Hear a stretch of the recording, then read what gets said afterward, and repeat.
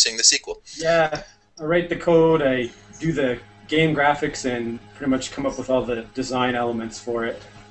Gameplay. Yeah, and one of the things, Erik, that um, uh, it's always been challenging is that because Paul always has his nose uh, uh, based at the computer and coding, um, I often get credited with um, the, being the creator of Sword of Fargoal, which is true for the the original 1983 Sword of Fargoal for the Commodore 64, but truly Paul is uh, kind of the genius behind the modern versions of Sword of Fargoal, and me being kind of the uh, uh, co, I guess, what would you call it, Paul? Co, co uh, um, partner.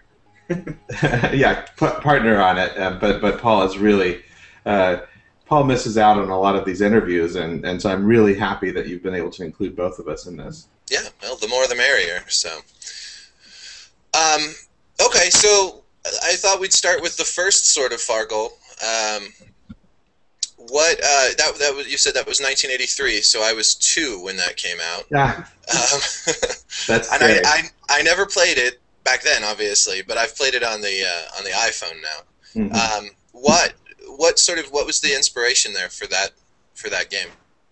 Well, certainly, like many other people that are credited with working on uh, the so-called roguelike genre, uh, a lot of our roots are in the same places. Uh, I would say that certainly D and D, and I, I played it as a kid. Uh, also, of course, really going back further, the the Tolkien books. You know, those those are really inspirations for almost everybody that loves this kind of thing. So those are probably my two biggest influences. Okay. Uh, what now? It's a roguelike. What what exactly qualifies a game as a roguelike? I know Paul is more the uh, uh, expert at this, but certainly it ties back to one of the very earliest versions of a kind of dungeon exploration game that was called Rogue and it actually came out, I believe, in 1981 uh, or 80, uh, and it was really around the same time that I was developing kind of the precursor for Sword of Fargoal, which I started on in high school uh, for the, the Commodore PET computer, which is a precursor of the Commodore 64, and I started working on that in 1979. So it's interesting. There were several people that were kind of inspired by the same influences and I think working on the same types of things. Okay. So, um, why? Uh, so, so, there was a, a, gap from 1983 to I believe 2009 when the uh, iPad version of the game came out. Um, why? Why uh, didn't you create a sequel or, or, a new version on an earlier system uh, or or prior to 2009?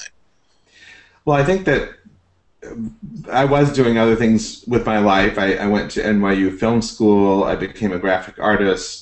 I got involved in creative kind of architecture rescue and and uh, actually, oddly enough, uh, home house moving, which actually I saved full sized houses and actually moved them to different locations.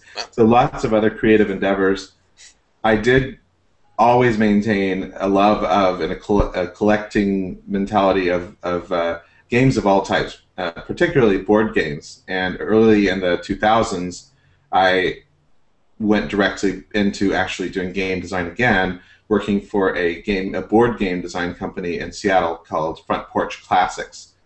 And it was around that time that I'd been keeping in touch with various Fargoal fans over the years, and there were I noticed that there was kind of a this retro resurgence. People really interested in the old C64 games, and there were a few sites that were kind of, uh, I guess, retro fan sites, and even one or two that were specific to Sword of Fargoal, which was very flattering.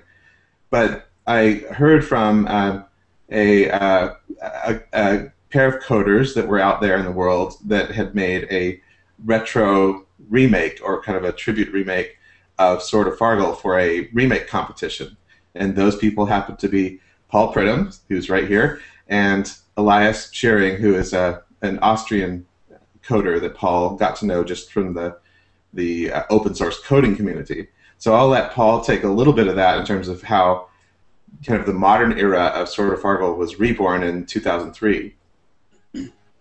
Um, yeah, like Jeff said, uh, um, Elias and I kind of hooked up, and and uh, he was he was actually initially he was just working on some game for this other competition, which was a, like an RPG generic competition, and he was just doing some kind of dungeon game. And I kind of popped in and said, "Hey, we should remake Sword of Fargoal because it's really cool." And uh, so we kind of switched gears and uh, started doing that. And uh, there was another competition around the same time for retro remakes, and so we kind of dual entered it into that as well. But we spent probably about two weeks on it, and a lot of that time we spent um, we detokenized the original uh, C64 basic code and we figured out how everything worked and kind of re-implemented all the algorithms and stuff as, as closely as we could to uh, to match the original experience uh, uh really carefully. And uh, there were a couple little changes we made that we thought um, were kind of necessary for uh, for more modern.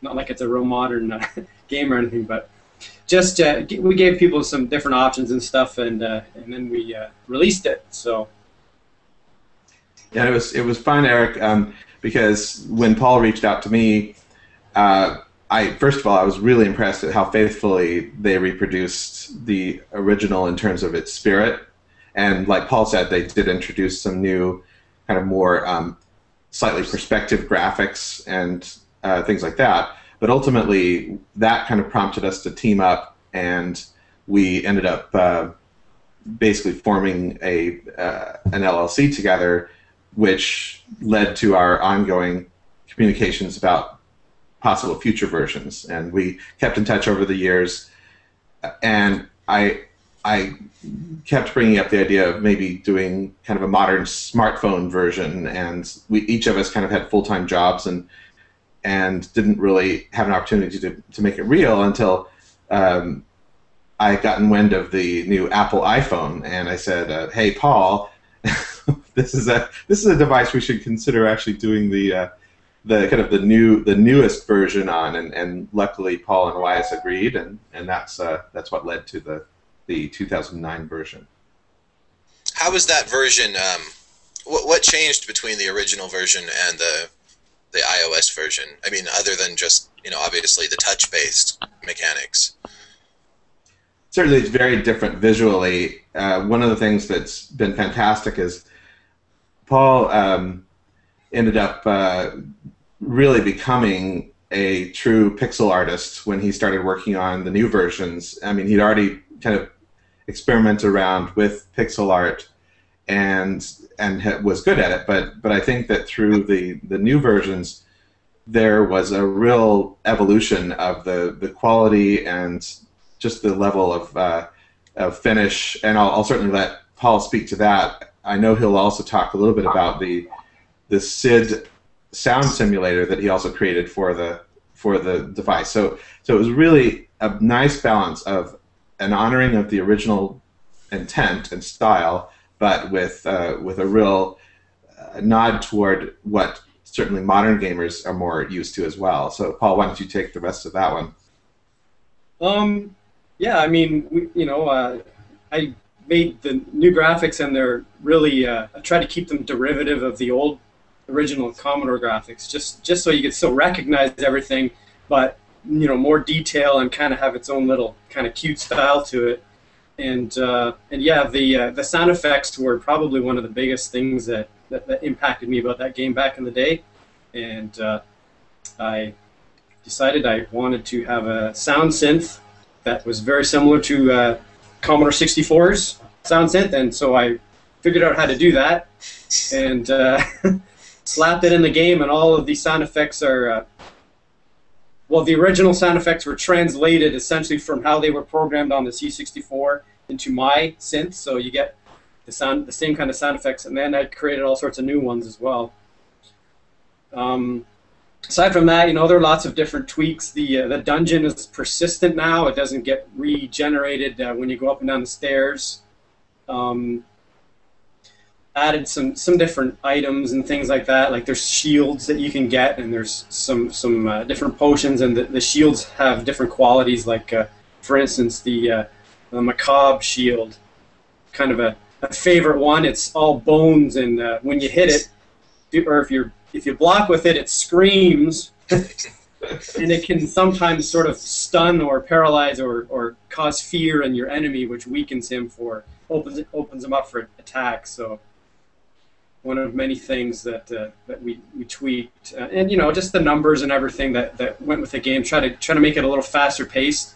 The original was was kind of notorious for having to sit around and wait a lot to heal, and especially uh, you know on the Commodore 64, it wasn't running fast to begin with. So I've heard stories of people having to go and basically they would go do the wash or something while they're waiting for their guy to heal on the temple. yeah. So, oh, go ahead.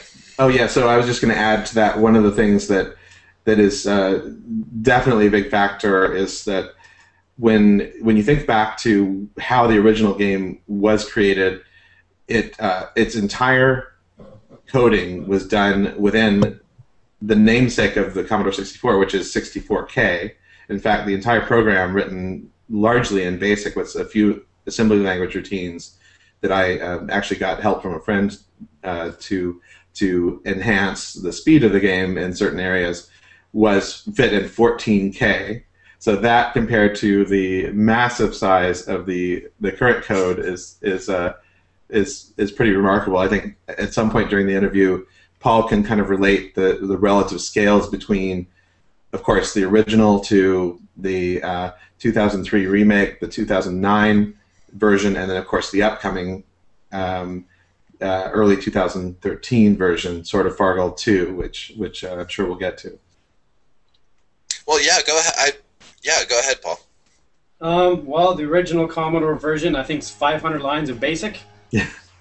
There's a lot packed in there, though. I mean, you know, you get the right numbers, you can really, really crunch things down. Um, uh, the iOS version, or iOS, however you want to say it, it's I don't know exactly how, how big it is. The the 2009 one's probably around 500 or sorry 50,000 lines, and I mean so much of that is just kind of the grunt work under the hood that you you need in order to uh, set things up and all that, but also uh, all the sound effects and everything. It just it uh, it really uh, pads things out. And the uh, the new one is is uh, around 100,000 lines right now. So it's it's you know uh, orders of magnitude uh, more code, but. So, and you you guys were about uh, I think it said on your Kickstarter page about eighty percent completed uh, complete with the game before you started a Kickstarter drive. Uh, what made you decide to use Kickstarter and to uh, go the crowdfunding route? Well, certainly the biggest factor is that we probably got to a certain point within the game development and realized just how massive the new undertaking was. And already at that point, Paul in particular had spent many, actually hundreds of hours that actually added up to a few thousand hours of, of coding time already. So he had already spent, you know, Paul, I, I, I know your working habits are are very long during a day. I, I've been quoting about uh, uh, 12, 12 to 14 hours. Is that fairly accurate in terms of how many hours per day you were working on it? For the yeah. yeah. Pretty much, and I didn't take off any weekends. I mean, you know, the odd the odd day or whatever, but pretty much seven days a week, twelve to fourteen hours a day. And uh, when I was um, originally working on it, I was also full time job. So I mean, I couldn't work that much, but you know, I'd end up being working till five in the morning or something like that, just to try to get things done because I really wanted to, you know, do this one wanted to do this and make this, you know, the way that I that I made my income and everything, and, and kind of get out of the other more boring types of jobs I've had. So this is what I figure I'm good at. So it's what I should be putting all my effort into. Um, so yeah, for Fargoal 2, it's probably been about 5,000 hours that I've put into it so far, and uh, that's been a big drain on my bank account for sure. so hopefully that uh, we get it finished and all polished up, and and uh, and people really like it and buy a whole lot of it. And, and Erik, what what it really translates to is that with Kickstarter, it it really lets us, um, well, it lets it lets Paul know that he can really s- stick to the game with the same level of of time commitment that he has been, as well as bringing in some extra resources. For example, because Paul does everything, he does the the coding and the sounds and and the pixel art. It does mean that it slows down the whole progress of the game. And so if he was doing it all alone, then it would mean that it that it really would, particularly with the budgetary constraints, take until really 2014. I mean, we we recognize that fans have been very patient with us, and we we really want to make it much faster that we get it done. And so it lets us hire additional pixel art and and coding resources as we need them, as well as of course keeping Paul working on the core of the game, and uh, and and so it, it, it means that we can get it finished, you know, way ahead of what it would have been had we continued on the on the current pathway. Okay. How? What was your experience using Kickstarter? Was was that um, was it what you expected? Was it a lot more work? I suppose it's not finished because you have all the the pledge rewards and, and different things like that that still have to probably go out. Uh, what, what's what's the experience been like?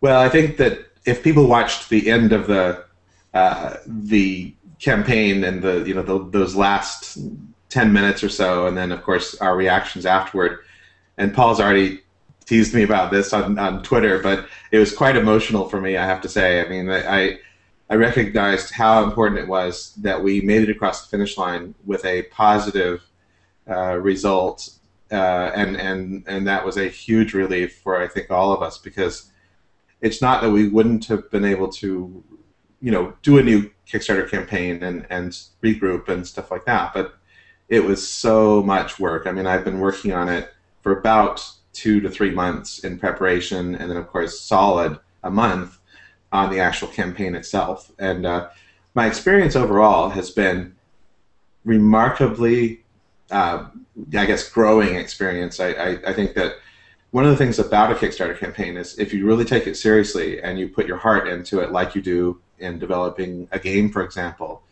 then it actually even helps you, I think, prepare better for the work that you're doing on the game. So it meant that you know we had to think hard about you know what the remaining content was going to be in the game and how to express that to people and how to reach out to the press and uh, how to get discovered more by people that we know will like the game. And Kickstarter really puts you into a mode where that's what you're doing 20 you know well maybe not 24 hours a day but sometimes 18 hours a day uh, for a you know 30 to 60 day stretch and that was certainly my own personal experience Okay. Um, so what what is changing now between the uh, the most recent Sword of Fargoal and the sequel? Like what what's being added? Are there um, are there changes in the gameplay? Uh, what what's going to be the big difference? Well, this is where I'm really excited about Paul being on because I can talk about it in general terms, and but there are even some things that that Paul has kept secret from me because he likes to do a reveal. He likes to when we share, uh, you know, uh, various playtest versions. You know, he likes me to kind of discover things. Uh, I don't know if Paul will reveal any secrets during this, but maybe he will. Let's find out. Paul, what what would you say are the key differences? I'd say probably the biggest change for the game is that when you move right, the guy flips around and moves right. Yeah. It is Um, true, but it's There's uh, one of the things that people I think, I mean, they really like the game and its and its simple interface, and they really wanted to keep that. Like, there's a lot of roguelikes or other dungeon games. You'll see they got tons of buttons on the screen and stuff, and that's something we, we don't want to stay. You I mean, we don't want to get into um, but yet we still want to add a lot of cool new features. So it's been kind of a, a big balancing act there to, to make sure that we can do that. So, uh, well, one of the things is uh, uh, there's a, I rewrote how the dungeons are generated and everything, so they're a lot more flexible. Um, there are you can have all these side branches and, and quests and stuff, and there's these different dungeon types like uh, like caves with with sand. You'd be able to dig in there and look for treasure, and there's water that you can splash around in and have water beasts and um, the dungeons are a lot more i guess you could say they seem like they're more constructed with intent. So they don't seem quite as you know random dungeon generation. It's it's a lot more like it seems like there's a there's a bigger purpose to this dungeon. We've got sort of like maintenance sort of paths where you end up going down these shafts and stuff like that. And there's a, there's an actual dungeon area which is really dangerous, and then there's a, more of a, like a keep area where you see a lot of the guards and there are vaults and and more of the uh, treasures and that kind of thing. And then you get into these side branches like like sewers and stuff. You might fall down a, a sewer grate and you end up in the sewer with these uh, crazed rats and, and disgusting oozes and things like that, and you got to fight your way out of there. So, so that's that's one thing about it. But also, um, we you know, people really like to.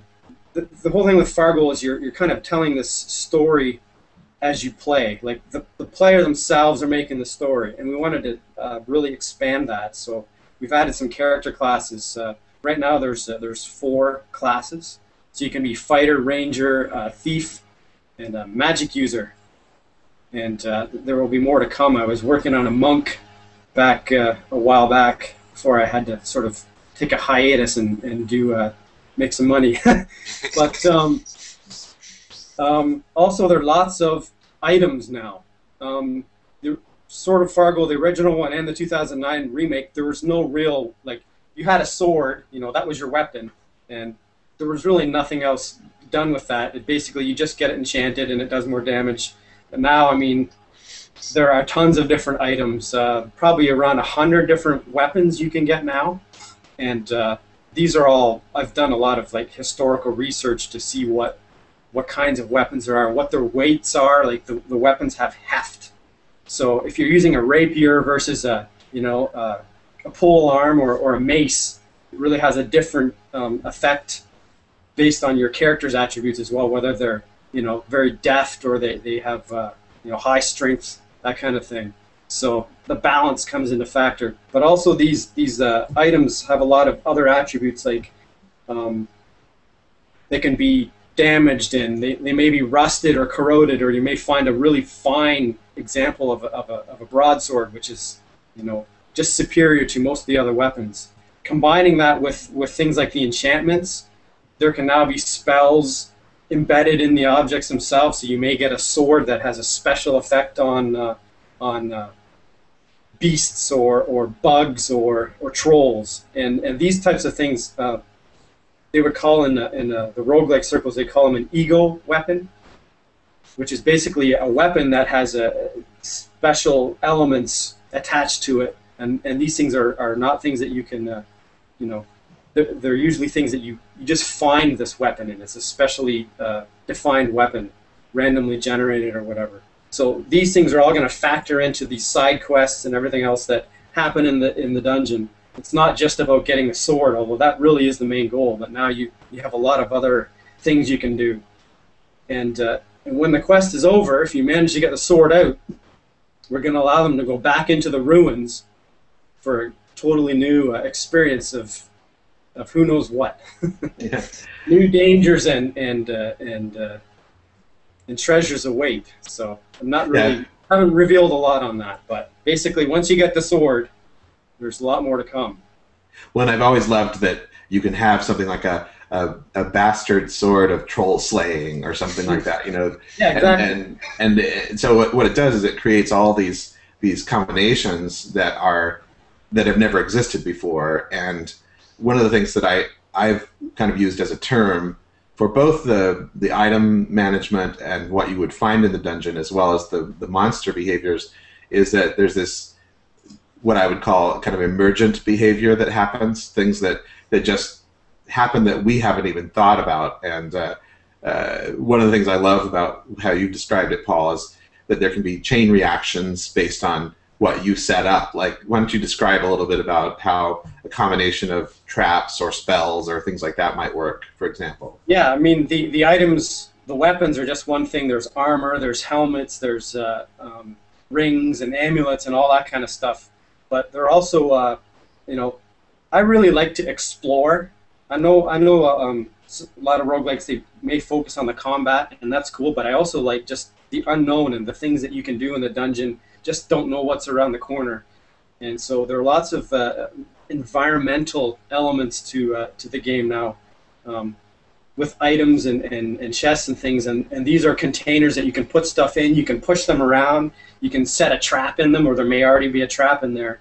And the traps can be constructed out of uh, you know components such as a you know like a latch trigger and and, and an explosive flask. So you can set that up in the chest and then kind of use that as, as a way to take out an enemy. If they're a thief, they may be uh, looking around for loot themselves. So they come across this chest and they pop it open and get an exploding flask in the face. And you can also do things like the explosions will affect other items, so it will damage things around. You could set up a, a bunch of flasks like that and have one explode, which disturbs another one, which then explodes and explodes. this goes crazy. And uh, yeah, flask is, an, is another whole thing. We have these flasks of different kinds, like acid flasks and poison, and explosive flasks and toxic flasks, which uh, have their own explosive qualities if they're combined with fire. And yeah, lots of stuff like that. Basically, a lot of pretty much everything can be destroyed or pushed around or whatever. You can find a dead body and put it inside of a chest, or you may find one there already, and there's loot under it, and you just you just don't know what's gonna what's to show up. Um, so, what about character customization?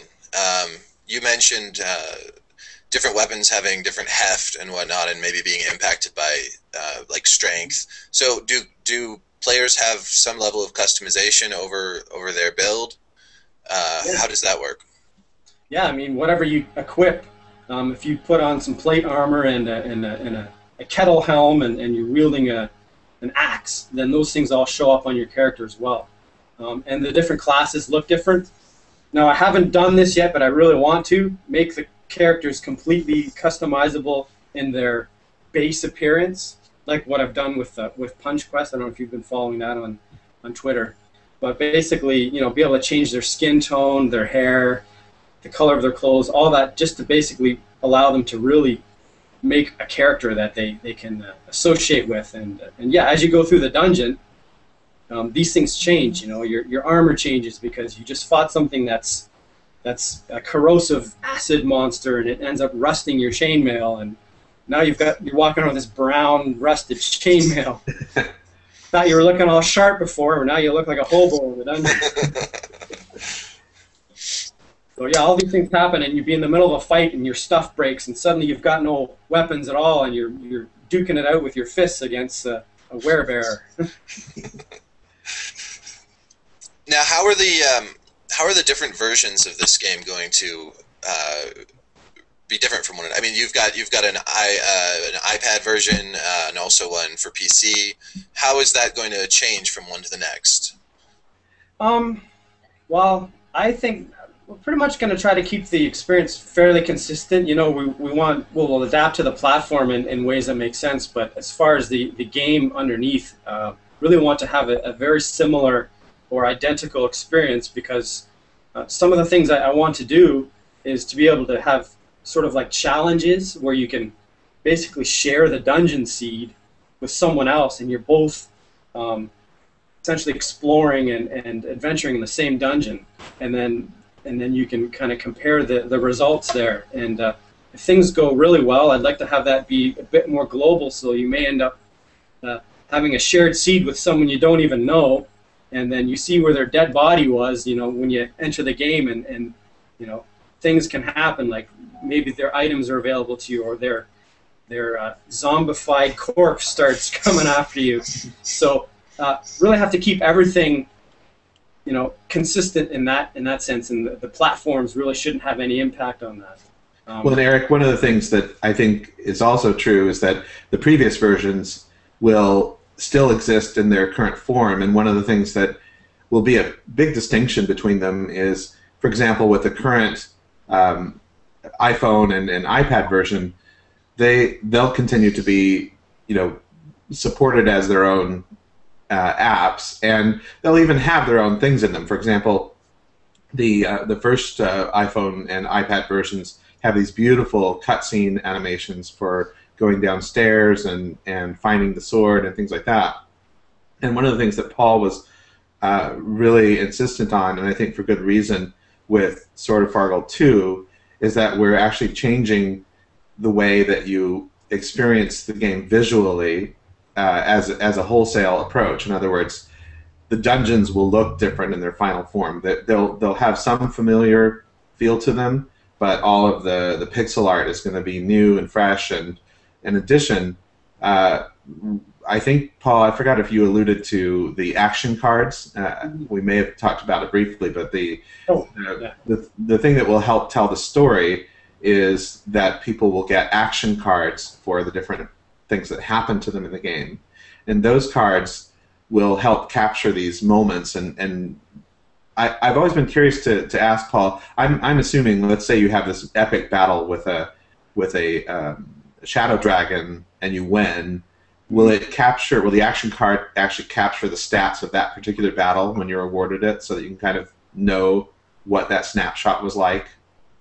Um, I mean, yeah, we can we can do whatever we want with it. Uh, I, I, plan on capturing not just the cards, but also pretty much all of the uh, flavor text, as they call it, yeah. that occurs. So you can really see the whole story. But um, also, you, you may end up doing a lot of the same things over and over, and, and wouldn't want to spam the uh, the action card timeline with with you know ten uh, bats in a row kind of thing. So still have to sort of figure out what what's important to keep and what isn't. But I think an epic battle is definitely something that we would want to keep track of. And the idea there, Erik, is that as you progress through the game, and certainly after you finish the game, you'll be able to actually kind of relive the the those high points, those moments. And sometimes they can just be as simple as discovering a secret passageway to another dungeon, or they might be, uh, you know, the first time that you opened a chest and found that there was a uh, a, skeleton inside and you get scared blankless. You know, the, those those moments are fun as part of the storytelling, and uh, that's one of the things that we've really enjoyed about Sword of Fargoal. really back to its original form, which is that rather than giving this um, kind of preamble for you know what the game is going to be about and who you're supposed to rescue and talking to some uh, mage in the town before you go into the dungeon and all that. We really like that you're immediately in the dungeon and you really kind of form your own story. You get this, as, as Paul was referring to, this flavor text. And that kind of starts to tell your own quest. So we're trying to enhance all the aspects of that so that your quest is told in a way that you can kind of remember and save and potentially even I'm, I'm thinking Paul share share with other people potentially like if you if you wanted to share it um, you know, so that they can see what your quest was like um, and, and compare it to maybe one they have or something like that. Um, so what what uh, other than the original Sword of Fargoal, have have there been any other games or um, board games, video games that have sort of influenced the direction you're taking with the sequel? Uh, Paul, I know that's definitely true for you uh, because you you one of the things that I, I often talk about in my own experience as a, a, um, a, computer game designer is that, that since I designed mine so early on, there's a very long period of you know 20 years or so that that I wasn't actually uh, uh, playing other roguelike games and dungeon crawlers and things like that. So Paul, you know all of that that in between history because you were a player throughout those years. Um, so why don't you talk a little bit about some of the influences that you had? Um, well, definitely the way that influences work for me when I'm designing games is, you know, I often look at, and I don't want to sound disparaging, but I often look at flaws as being just as important as the uh, as as the golden elements of, of certain games. So um, I take in the games uh, with that viewpoint and, and and use that to help make Fargoal both better and uh, and unique, or any game that I'm working on. Um, so, I mean, some of the games that I, that I played in the past that have influenced Fargoal are uh, games like Moria, which is a, a, precursor to Angband, which is a fairly popular roguelike. Um, I've looked at a lot of how these these games handle the, the systems for their weapons and that kind of stuff. And since since we've got all these items and weapons now, you know, it's important to do that right. Fargoal uh, for the Commodore didn't have any of that stuff, so I want to do something that's both familiar um, to players of, of other roguelikes and such, but also that, that makes sense to someone who hasn't played uh, roguelike. Um, and NetHack is another good one. It's, it's a it's a really fun roguelike. Uh, so much variety in that game. A lot of it is really nonsensical. like some of the combinations of things that can occur. You know, you kick a sink and it, it, ends up with a bunch of demonic snakes that come up and attack you. Like you just have to know these things, right? And that's both good and bad. I think it can it can make the game pretty hardcore, but it also makes it really interesting and unpredictable. So those kind of thoughts, I think, make their way into Fargoal. Um, and some other games that aren't even related to, to, to roguelikes and other movies or experiences, just everything kind of feeds into it that way. A lot of it is, I actually didn't play a lot of D&D. I maybe played a couple games. So a lot of this is my sort of own imagining of what you know the dungeon experience is like too. You know, a lot of that stems from playing the original uh, Sword of Fargoal, and I've, I've got a really active imagination, and, and even more so as a kid. So you, you get all these ideas and images, and, and, these are things that you just they just percolate away for years and years, and and, uh, and they come out in a game.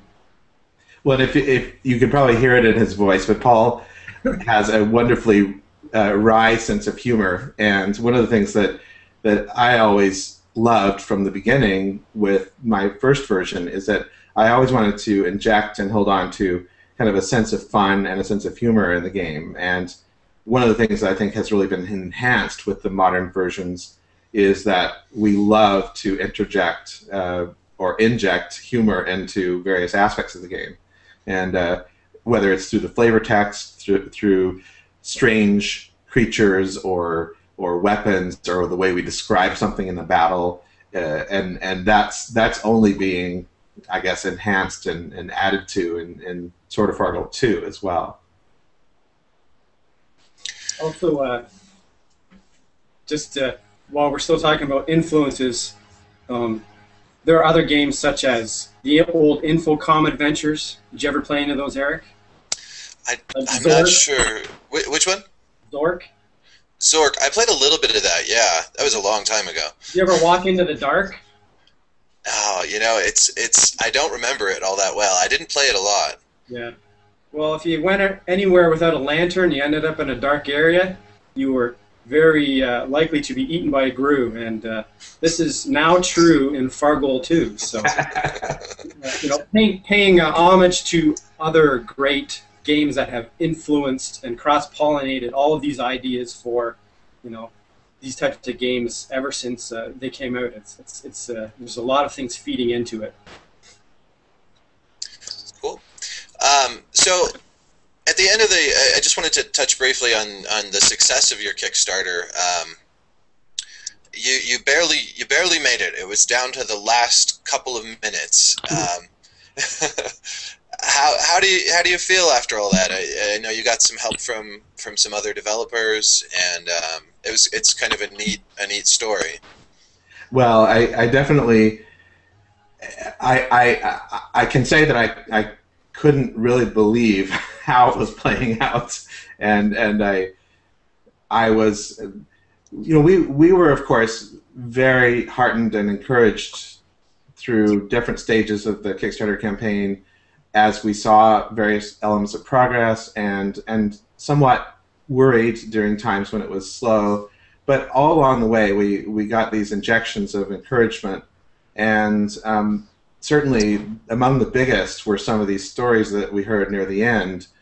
And one of the things that I've been saying, which I think is absolutely true, is that without any one of these elements that happened, because it was so close, it would have failed So without um, uh, some of the, the really generous pledges we got and the pledge increases we got and the almost 200 new people that we got within the last you know 24 to 48 hours um, and mm. the fact that I happened to think of this idea of doing a kickathon for the last 24 hours. You know, if that hadn't happened and we hadn't supported other projects that we were excited about and, and wanted to, to kind of share with the world, and if if uh, um, you know Fergus Urquhart from um, Project Eternity and, and Obsidian hadn't mentioned it to his uh, to his own team, and, and if they hadn't contributed, there were about 18 of them that contributed.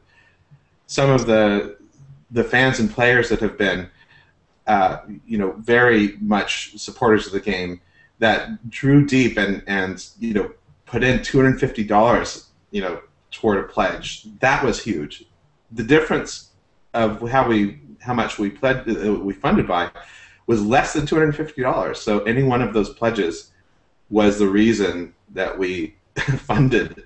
So the the depth of my appreciation and, and, thankfulness of all of that outpouring and support is is really remarkable. It's one of the most it's one of the most encouraging times in my life in terms of of how thankful I am for people pulling together for for something creative for a creative endeavor.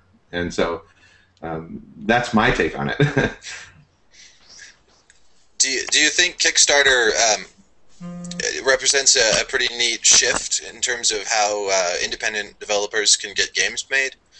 Um, would would this have been possible to make Sword of Fargoal 2 without some sort of crowdfunding uh, site like that? Certainly, in, in our particular circumstance, I mean, Fargoal is, is a little bit of an unusual creature, no pun intended, in that, uh, and on one level, it's a very you know simple seeming game. That you know it's meant to appear and be graphically simple and approachable and and traditional, or, or, or I should say retro in its experience. But because it's it's a game that has a, a, an immense amount of depth, and that depth and how you code to be able to make it feel deep and be experienced longer. I mean, we, we repeatedly hear the comment from people that it's one of the, the, the games that people keep on their devices longer than almost any other game. And, and uh, you know, to, to have that kind of experience with it means that it, it takes an awful lot of work to do, um, particularly on Paul's part. And, and because of that, I think Fargoal would have had a real struggle certainly getting it done anytime soon without Kickstarter. Uh, and it may not be quite as true for games that are a little bit more kind of come out with a big bang and have a great, you know, short run and and are, are fun and and delightful to play, but maybe don't have the depth and the just the amount of complexity of, of how hard they are to code. Um, Paul, do you have any thoughts on that? Um, yeah, I mean that that pretty much nails it. Um, if we were a bigger team, you know, if we were an actual studio, we're not really studio per se. I mean, we just all work from home or wherever. Um, then you know, maybe these things wouldn't even be that much of an issue. But we're just you know, a couple guys here making a game kind of thing. And and you know, this is this is really what the the, uh, independent developers are all struggling with now is just how to make their, you know, their ideas and, and, and the things they want to express, how to make those those happen. So, yeah, it's the uh, probably the the starving artist of the 21st century situation here. so well, yeah, I mean, Kickstarter definitely is is a is something that, that can help. I don't know how for how long. I mean, I'm just worried that it may get saturated. You see a lot of these bigger and bigger um, companies and, and so forth are, are, are using it and they have more visibility. They get they get lots of pledges, and then the little guys kind of get shifted down the down the line. So you know we'll see how it goes in, in the next few years if, if Kickstarter is still viable for uh, independent developers and if we're even still around. But you know, grabbing the reins right now while we can. Well, I would say this that that the idea of a smaller campaign like ours is uh, is every bit as important for us to understand how to to get the word out to not only our fans but new discoverers. And and so in a, in a way we're kind of faced with some of the same publicity challenges that any large organization would and coming up with with new ways to get the word out and be discovered. And i mean even just the idea that uh, uh, erik you discovered it. I mean you had known about the game uh, but because we did the kickathon event and then therefore as a chain reaction uh, fergus and his team tweeted about it and as a chain reaction you then thought to yourself oh wow there's that that thing i had wanted to write about. You know that's that's something that's the result of of some important outreach that we did to try to to get discovered. And and um, so it's that same it's the same philosophy about any independent developer that for example has has a, an iOS title and wants to get onto the iPhone or or um, iPad one of the the real challenges for them is that they have to be discovered amidst a huge number of other games, and so they have to understand how to to talk to the press and how to um, uh, to to reach out to fans and be very supportive and, and interactive and and they need to know all of those tools to get discovered, just like anybody uh, doing a Kickstarter campaign would. So what's the um, sort of to wrap things up? I suppose what's the what what are the next steps for you guys? What um, what are the next few months or you know leading up to the release of the game going to look like? For me, certainly it's it's going to be uh, our immediate uh, fulfillment of the the wonderful rewards and things that we've that we've set up for people to receive as supporters for for the game, and so we're furiously working on all of those uh, fulfillment tasks and, and getting uh, Charlie going on the art and and uh, doing a lot of the communications around talking to backers and things like that. So so there's going to be a solid amount of time that I'll be spending on that, and um, and of course Paul, you'll be uh, getting your nose back into the the code full force and we'll of course be structuring it so that we have a really uh, you know, organized approach so that we can start getting the developer forums or, or the uh, backer forums so that people can talk to us about game content, um, working toward our, our private beta for some of the higher level backers. Uh, so there's there's just a lot of uh, of really solid and organized work toward meeting our our uh, our delivery goals.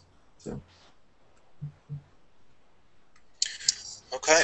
Um, well, I think that that about does it for me. Is there anything else you guys wanted to talk about or wanted to add or? Um, I would uh, would like to mention the the project I'm just finishing up right now.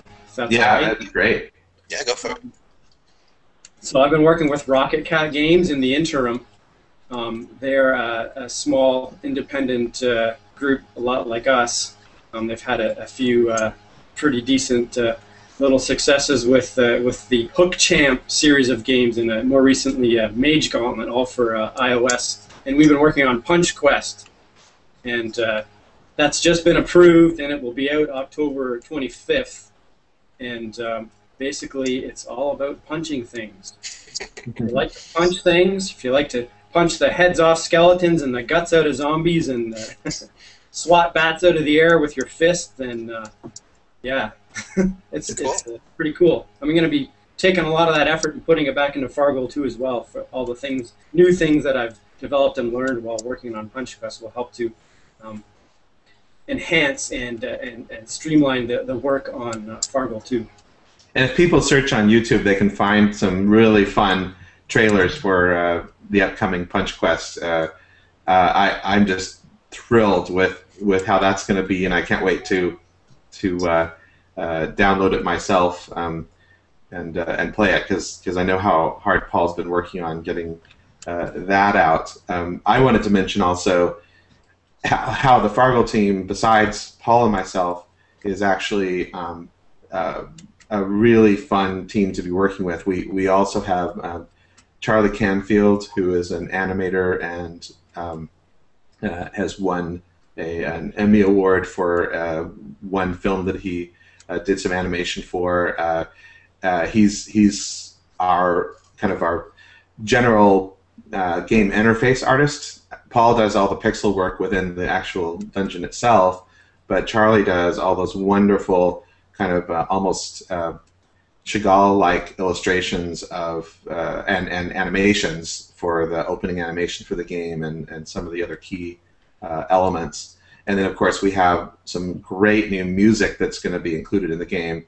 One of our um, real supporters all these years has been uh, Daniel Pemberton, who is a, London-based uh, composer. And Daniel is actually also very well known. He um, has done a lot of uh, music tracks for BBC shows, including uh, the new version of Upstairs Downstairs, and uh, he also did the music for um, Little Big Planet, uh, which is another big game title. And and Daniel has been very gracious to work on our little game, and it really enhances the play experience because you have all this wonderful orchest- orchestral music that sets the mood in the dungeon. So you're going to hear several new Daniel Pemberton titles. Uh, as well as a couple of outside um, new musicians that have done some tracks for for some of the dungeon levels. So uh, overall, we tend to be a team that that works with really highly talented people, and uh, and that's one of the things I enjoy most about my task, which is uh, working with those people and helping to art direct and and uh, things like that. So uh, my thanks goes out to them for also being longtime uh, Fargoal contributors. so. Oh, cool. Yeah, Little Big Planet. That's a that's got an interesting soundtrack. Yeah, it's very quirky. Uh, yeah. Daniel's work is really good. Uh, we love it a lot. And it really, I mean, the music in Fargoal, Daniel's music in Fargoal, really sets the mood. I think in the in the modern uh, version. You know, yeah. we've still got all our chippy, blippy stuff going on with the sound effects uh, and the monster kind of Jaws sound, but uh, but the music, I think it really pulls a lot of people in. We've had a lot of comments about about the music and how they love it. So we'll be happy to get that up on uh, Bandcamp for them uh, shortly. That's right. Cool. All right. Well, uh, I really appreciate you guys' time. Um, it's a, it's an exciting project. Well, we're really delighted that you've you've uh, kind of uh, brought us to the the forefront, and, and, and it's been really fun following your coverage of it. Um, and, and we look forward to giving you some nice exclusives as we get uh, closer to release time as well. Very cool. All right, well, um, we'll take care and good luck. And uh, this was fun. Yeah, thank you. Thanks. All right, see ya. Bye.